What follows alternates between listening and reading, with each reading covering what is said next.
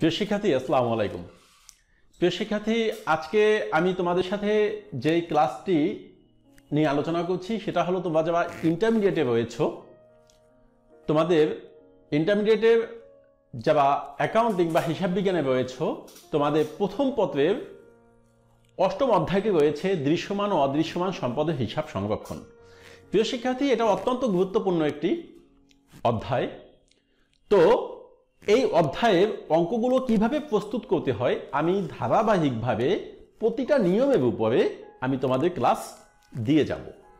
তো প্রিয় শিক্ষার্থী, এই অধ্যায় থেকে অনেকগুলো নিয়ম রয়েছে। যেমন, মনে করো, সরলরৈখিক পদ্ধতি ক্রমরাসমান পদ্ধতি, দ্বিগুণ ক্রমরাসমান পদ্ধতি বা দ্বিগুণ রাসমান পদ্ধতি এরপরে ঘণ্টা পদ্ধতি, একক পদ্ধতি, উৎপাদন পদ্ধতি এরকম অনেকগুলো পদ্ধতি রয়েছে। আমি তোমাদের ক্লাস করার সময় ধারাবাহিকভাবে বিষয়গুলো আলোচনা করে দিব।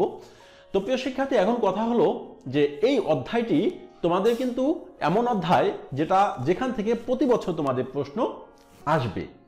তো এখন এই যে প্রতি বছর যে প্রশ্ন আসবে, এই প্রশ্নের ভিতরে আমি তো অনেকগুলো পদ্ধতির কথা তোমাদের বললাম। এর ভিতরে তোমাদের কিন্তু সবগুলো যে ইন্টারমিডিয়েটের জন্য করতে হবে তা কিন্তু না, প্রিয় শিক্ষার্থী।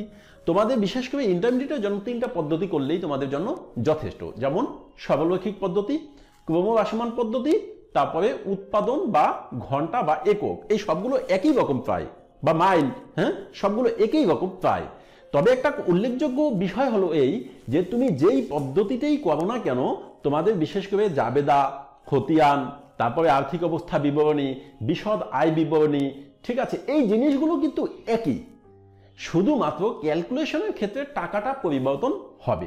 সেই ক্ষেত্রে তোমাদের বুঝতে হবে যে অঙ্কটা কীভাবে প্রস্তুত করতে হয়। যেমন জাবেদা করলা, প্রতিটা অঙ্কের জন্য জাবেদা একই মানে প্রতিটা নিয়মের জন্য জাবেদারা একই ধরনের হবে। খতিয়ান, প্রতিটা নিয়মের জন্য খতিয়ান একই রকম হবে। তো এই জন্য আমাদেরকে এই পদ্ধতিগত যে পার্থক্যটা, এই পার্থক্যটা শুধু ক্যালকুলেশনের ক্ষেত্রে।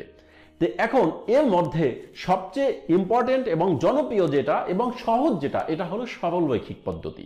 শিক্ষার্থী, এখানে একটা কথা হলো যে তোমাদের এই সরলরৈখিক পদ্ধতির উপরে মানে প্রতিটা পদ্ধতির উপরে আমি দুইটা বা তিনটা করে ক্লাস দিয়ে যাব।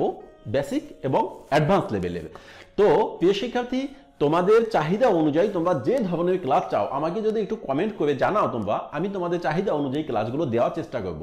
আর একটা কথা হলো, প্রিয় শিক্ষার্থী, তোমরা জানো যে আমি তোমার ফেমাস টিপস যে ইউটিউব চ্যানেল এখানে কিন্তু আমি তোমাদের বিশেষ করে হিসাব বিজ্ঞানের একদম বেসিক লেভেল থেকে অ্যাডভান্স লেভেলের জন্য একেবারে নবম, দশম থেকে মাস্টার্স লেভেল পর্যন্ত সকল বিষয়ের উপরে আমি তোমাদের ক্লাস দিয়ে থাকি বা অনেক ক্লাস আমি তোমাদের দিয়েছি। Bangla medium, English medium, Bangla মিডিয়ামে ন্যাশনাল কারিকুলাম ইংলিশ মিডিয়ামে ন্যাশনাল কারিকুলাম ব্রিটিশ কারিকুলামের উপরে আমি ক্লাস তোমাদের দিয়ে যাচ্ছি।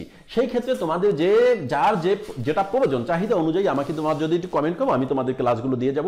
যা হোক আমি আর কথা না ভাবিয়ে আমি তোমাদের চলে যাচ্ছি। আমি তোমাদের